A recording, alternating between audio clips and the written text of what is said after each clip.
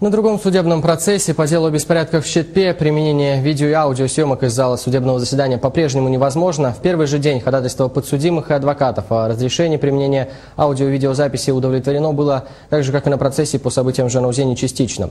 Заседательствующий судья Марзабеков, рассмотрев этот вопрос, постановил, далее цитаты из протокола суда, для проведения главного судебного разбирательства в условиях, обеспечивающих нормальную работу суда и безопасность участников процесса, представителям СМИ разрешить применение аудио и видеозаписи комиссии начало главного судебного разбирательства и только 10 минут. Конец цитаты.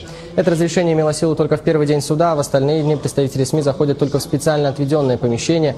Ну и там журналистам отведена роль созерцателя. Снимать и записывать запрещено, а качество трансляции зала суда не выдерживает никакой критики.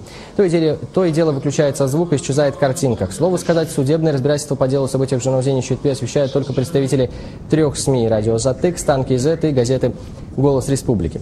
Между тем, пытки как будто становятся нормой для следствия. На втором громком судебном процессе в октаву по делу о массовых беспорядках на станции Щитпе подсудимые заявили об избиениях и изощренных методах пыток со стороны полиции. Сегодня трое из 12 обвиняемых отказались от своих прежних показаний по причине давления, которое было оказано на них в ходе следствия. Поэтому их показания, мягко говоря, не соответствуют действительности. Их сотрудники полиции в буквальном смысле слова выбивали с каждого задержанного.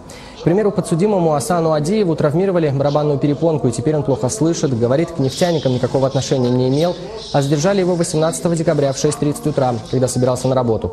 Адиев рассказал суду, что его начали бить, как только его задержали, он отключился и всю неделю лежал в коматозном состоянии. Назвал две фамилии полицейских, которые его избивали, и они же, по его словам, присутствуют в зале. Далее отрывок из допроса Адиева. Его проводил государственный обвинитель Жанаев.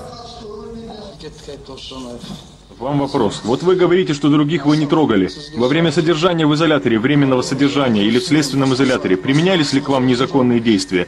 Били, запугивали ли? Были ли другие действия? Да, было, все было. Нет, я спрашиваю про изолятор временного содержания и про следственный изолятор. Было, да. В каком из них? Во всех. До какого времени было?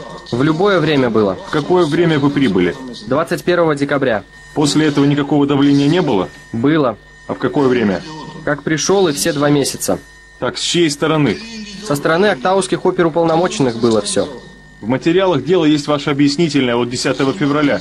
То есть сам чистосердечно признаюсь, никакого давления не оказывалось. Сам своей рукой пишете, что был Кажемурат и второй парень. Обо всех пишете. Как это понять? Так заставили написать. Я так писал, потому что мне угрожали засунуть дубинку в зад. Поэтому я написал, но не по своей воле. Не один раз писали, а два раза на имя начальника следственного изолятора. Чем вы это можете объяснить? Оба раза пугали засунуть в зад дубинку, били меня, силой заставляли подписать. Сами писали или сотрудники полиции писали? Громче говорите. Сотрудники полиции писали или вы сами писали? Я сам не писал, под их давлением написал. Сами писали? Да, под их давлением.